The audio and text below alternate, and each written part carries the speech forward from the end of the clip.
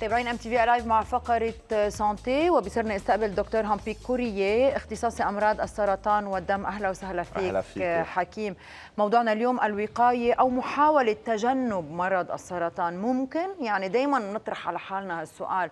إذا كان شيء بالوراثة أو إذا كان يمكن ببيئه معينة عايشين فيها وكلها تلوث أو غيره ممكن نحن نقدر نتفادى هيدا الموضوع؟ في كتير أسباب للسرطان. نقدر نحددها وبنقدر نتفاداها. بس كمان في أسباب للأسف ما فينا نحددها وهيدا بنقول إنه صار معه المريض السرطان بلا ما نحدد كيف. من الأسباب الرئيسية اللي لازم دائما نشدد عليها هي الوقاية. في عنا كذا نوع وقاية. يعني مثلا الدخان اليوم يلي ما بيدخن عنده ال risk بخف فوق ال 95% من إنه يعمل سرطان رئة. لأنه أغلبية سرطانات الرئة مرتبطة بالتدخين. فالشخص اللي ما بيدخن نسبة إنه يعمل سرطان رئة ضئيلة جدا. ذات الحكي مشان سرطان الأنف أذن حنجرة. لما الشخص ما بيدخن ال risk بيخف كتير وهكذا دواليك. فاذا الدخان أساسي يعني نحن عندنا قوانين للأسف ما بنطبقها بالتدخين بالأماكن العامة. ولكن لازم نشدد على هالنقطة لأنه الفاتورة الصحية لمرضى السرطان فيها تخف كتير وفي ناس فيهم ما يعملوا سرطانات مشان هيك بنشوف بالدول الأوروبية اليوم نسبة سرطانات الرئة عم بتخف نعم. بالمقابل بدولنا الدول العربية وبلبنان هيدي النسبة عم تطلع بشكل مخيف. يعني من 2005 ل 2020 زادت تقريبا double. نعم. وهذا الرقم منه هين.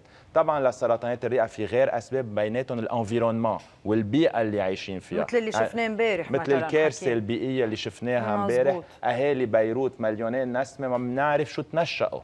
فهون وقد إيه رح يبقوا بالجو هالمواد؟ طبعا. ولشو بدهم يتحولوا؟ فاذا كل هول الأمور على المدى الطويل بدها تأثر سلبا. يعني عم بيصير عندنا كوارث بيئية من انفجار اللي صار قبل شهر للحريق اللي صار امبارح. فكل هول الأمور فيهم يأثروا سلبا. يعني هول من العوامل المرتبطة بالبيئة. والنفايات وتلوث البحر وغيره وغيره. يعني كل هول بتفوت ضمن إطار يلي بيعيش مثلا ببيئة نظيفة مثل البيئة الأوروبية. النسبة إنه يعمل هالنوع السرطانات المرتبطة بهالبيئه بتكون أخف بكثير يعني أكثر شيء عم نحكي عن الجهاز التنفسي آه، طبعا لأنه بنتنشأه. نعم.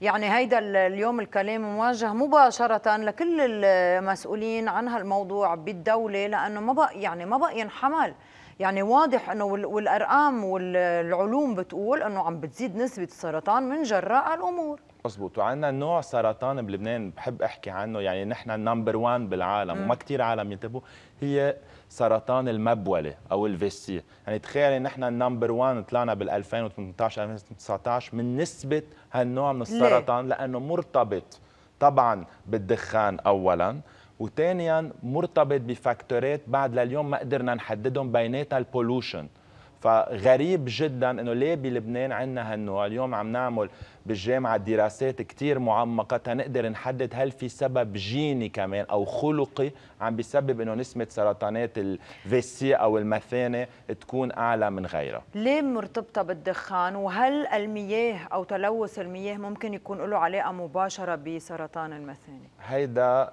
هيدي نقطة مهمة جدا وعم نراقب إنه هل المي اللي عم نشربها لأنه عم بتكون أغلبيتها بالحنفية من مصادر غير نظيفة. هل معقول تزيد هالنسبة؟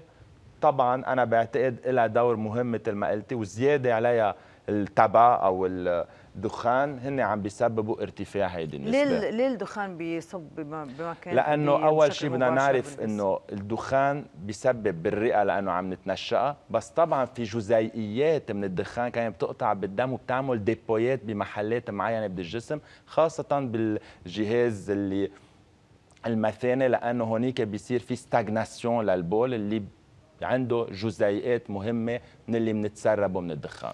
حياتنا أو نمط حياتنا. يعني اليوم في أمور نحن ما بنقدر نغيرها. للأسف طبعا. يلي هي هالأمور البيئية مكان اللي ساكنين فيه حد معامل الأشياء الكيميائية والذوق وغيره. يعني هول أمور يمكن صعب على الإنسان يغيرها. بس شو الأشياء يلي بحياته بيقدر يغيرها كنمط حياة أو أشياء يزيدها أو أشياء يخففها ممكن تكون عم بتساعده لتفادي هيدا الموضوع؟ حكينا عن الدخان في عنا نمط الغذاء تبعنا.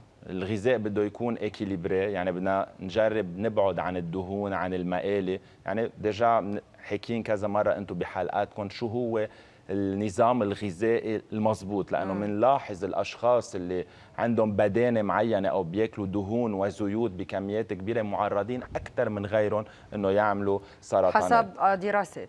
طبعا طبعا عم نحكي حسب دراسات. فهذه النقطة مهمة جدا.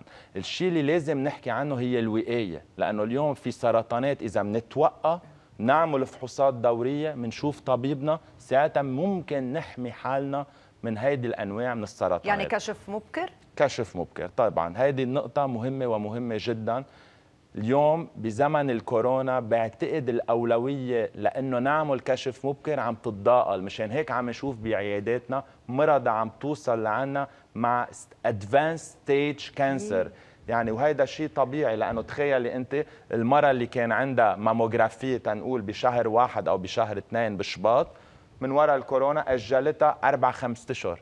بهالفترة اللي عم نأجل فيها عم نحكي عن mammographie بس فينا نحكي عن بقية الفحوصات مثل الناظور وهيك. العالم عم تتفادى إذا ما في شيء ضروري إذا ما في symptoms إنها تروح على المستشفى.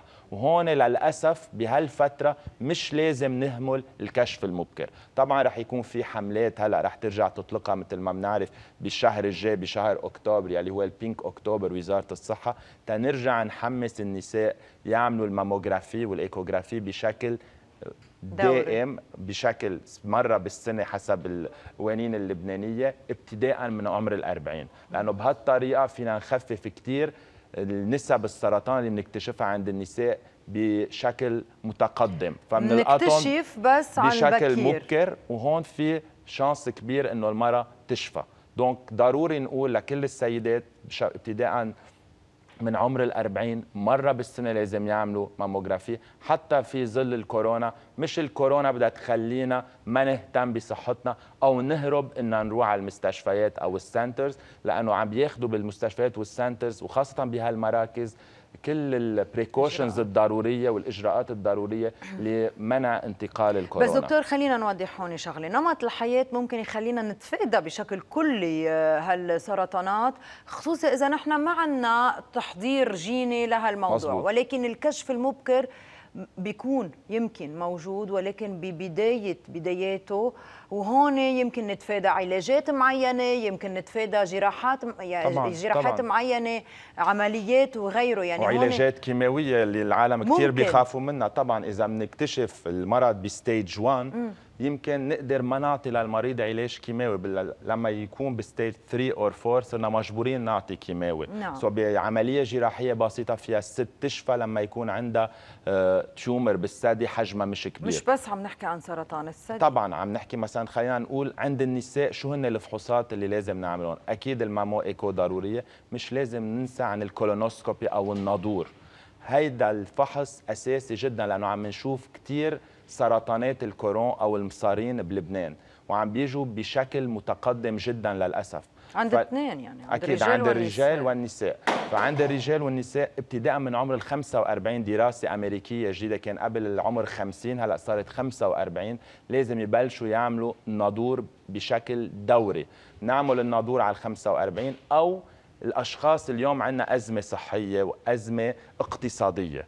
المشكلة إنه مش كل العالم قادرة تدفع حق ناظور في ناس بدها تطعمي أولادها قبل ما تعمل الناظور متفهمهم ففي كمان فحص خروج يلي هو ال FIT test يلي هو dépistage بعض الدول الأوروبية تلتزم فيه تنشوف إذا في دم بالخروج وبهالطريقة إذا negative بنرجع بنعيده نعم. بعد سنة أو إذا positive نعمل الناظور دكتور هامبيك كوريه شكرا لهالتذكير وأكيد بنرجع بنقول إنه دائما الكشف المبكر هو أكبر وقاية وأكبر هيك تفادي لمشاكل صحية ممكن تكون أكثر بكثير من ما نحن بنلقطها بالأول. شكرا لك break ونرجع